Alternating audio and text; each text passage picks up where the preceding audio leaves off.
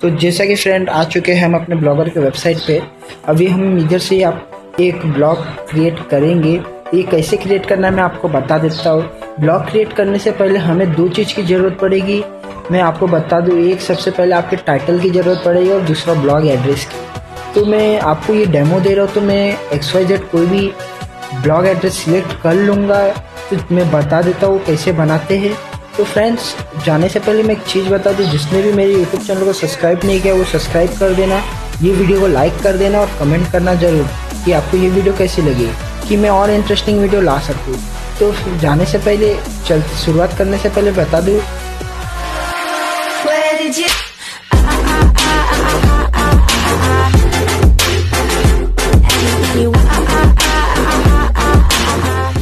शुरुआत करते हैं तो जैसा कि आ चुके हैं अब हम ब्लॉगर के डैशबोर्ड पे तो आपको वेबसाइट या ब्लॉग क्रिएट करने के लिए आपको जाना पड़ेगा इधर।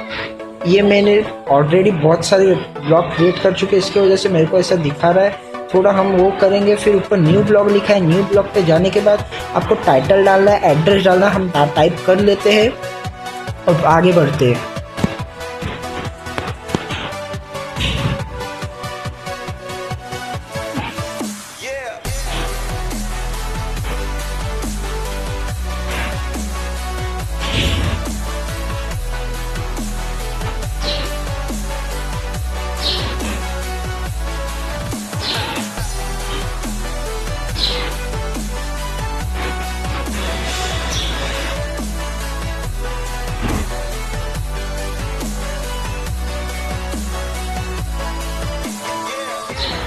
तो जैसा कि आपने देखा ब्लॉग एड्रेस वैल्यूएबल नहीं है। इसमें कुछ चेंजेस करते हैं।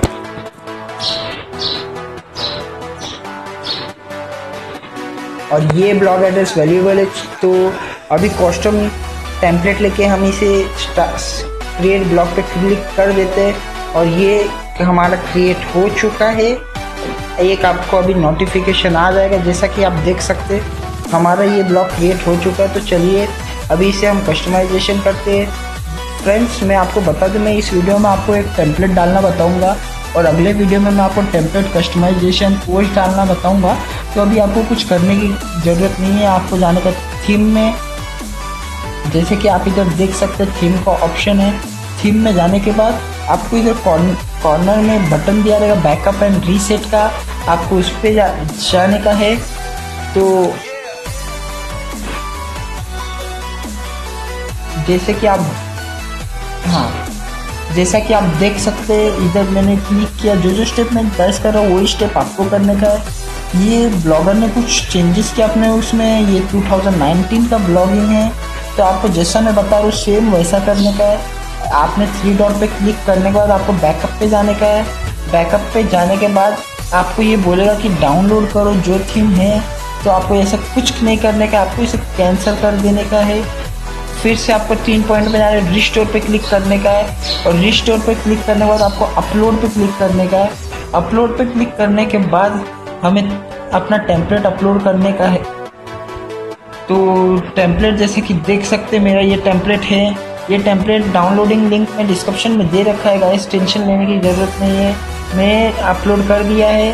तो आपको नीचे ब्लैक कलर में कुछ दिखता रहेगा रिस्टोरिंग थीम तो आपको मैसेज कुछ लिख के आ गया रिस्टोर री स्टोरेज सक्सेसफुली तो मैं आपको भी अपना वेबसाइट या ब्लॉग खोल के दिखा देता हूँ। न्यू टैब में कि कैसा लगेगा। तो चलिए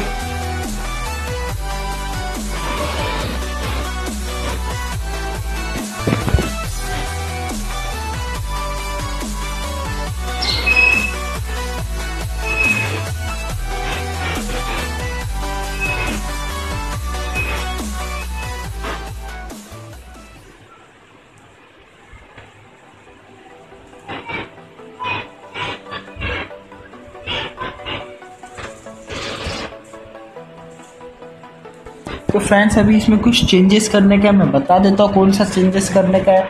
आप देख लीजिए। तो आ जाते हैं हम अपना डैशबोर्ड पे, फिर से डैशबोर्ड पे डैशबोर्ड पे आने के बाद हम इस पर क्लिक करते हैं और मोबाइल सेटिंग पे क्लिक करने के बाद आपको करने का है डेस्कटॉप डेस्कटॉप करने के बाद आपको सेव कर देने का है। सेव करने के बाद हम रिविजिट करेंगे अपने वेबसाइट को और दिखा देते आपको। तो जैसा कि हमने रिविजिट कर लिया, इसे रिफ्रेश कर लेते एक दो बार पेज को रिफ्रेश कर लेते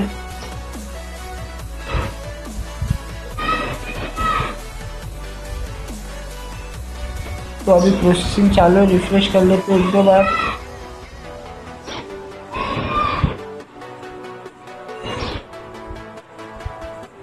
हाँ ये रिफ्रेश हो गया दोस्तों। तो देख सकते हैं हमारा वेबसाइट कितना कितना अच्छा दिख रहा है। तो इसका आगे का कस्टमाइजेशन कैसे करने को मैं आपको बताऊँगा नेक्स्ट वीडियो में। लेकिन अभी के लिए इतना ही। फ़िल्म लेंगे मेरे अगले वीडियो में।